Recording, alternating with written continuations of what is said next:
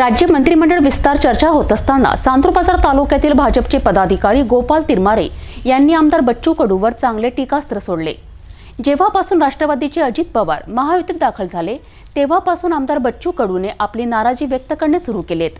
आमदार कडू महायुतीत पिठाचा खडा टाकून समजा निर्माण करीत आहेत. बच्चू कडू मंत्रिपदासाठी हपापलेला आमदार असल्याचे स्पष्ट करून गोपाळ तिरमारे यांनी त्यांच्या प्रतिक्रियेच्या माध्यमातून आमदार बच्चू कडू यांचा खरफूस समाचार घेतला. आमदार बच्चू कडू हे गेल्या अनेक दिवसापासून मंत्रिमंडळाच्या विस्ताराच्या संदर्भात आपली नाराजी व्यक्त करताना दिसत आहेत. जेव्हापासून अजितदादांच्या नेतृत्वामध्ये राष्ट्रवादीचे अनेक दिग्गज नेते आणि आमदार यांनी महायुतीमध्ये प्रवेश केला तेव्हापासून तर आमदार बच्चू कडू हे सातत्यानं तिखट शब्दामध्ये आपली नाराजी प्रसारमाध्यमांसमोर व्यक्त करत आहेत. जसं की अजितदादांना अर्थमंत्रीपद देण्यात येऊ नये हे सरकार हे तीन इंजनचं सरकार आहे. हे एकतर मजबूत होईल किंवा तीन तिगाळा काम बिगाळा होईल हे सरकार पडू शकते.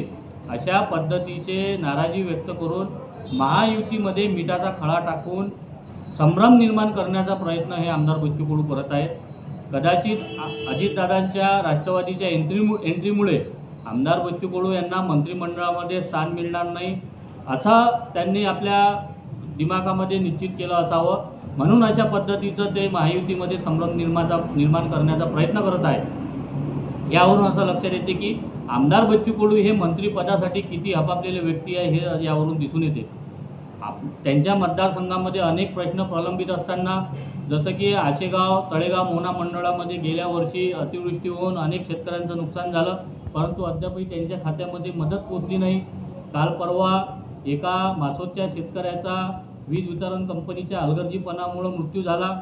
परंतु त्या अधिकाऱ्यावर कारवाई न होता मृत्यू झालेल्या शेतकऱ्यांच्या नातेकाव नातेवाईकांवरच गुन्हे दाखल करण्यात आले. बच्चू कडू यांचं बेलोरा गाव आहे. त्या ठिकाणी अनेक प्रश्न प्रलंबित आ- प्रलंबित आहेत.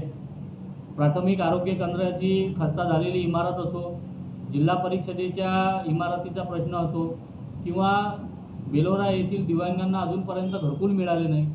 अशा प्रकारचे प्रश्न त्यांच्या गावातीलच प्रलंबित असताना ते प्रश्न सोडवण्याकरिता ते वेळ देत नाही आणि दुसरीकडे आपलं मंत्रिमंडळामध्ये स्थान पक्क व्हावं याकरिता आपला वेळ वाया घालत आहे.